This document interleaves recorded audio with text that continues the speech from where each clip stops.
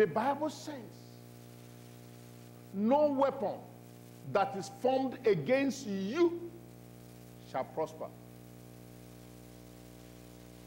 Is that something physical? Is that something you want to go and buy from the store? No.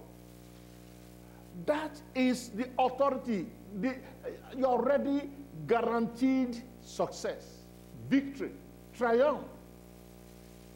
If your life can just be right with God. That's why I pity people that are always chasing after witches and wizards.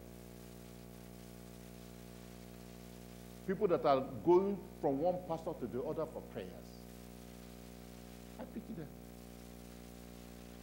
People that they have this prayer line, they join that prayer line. There is nothing wrong with prayer, praise the Lord.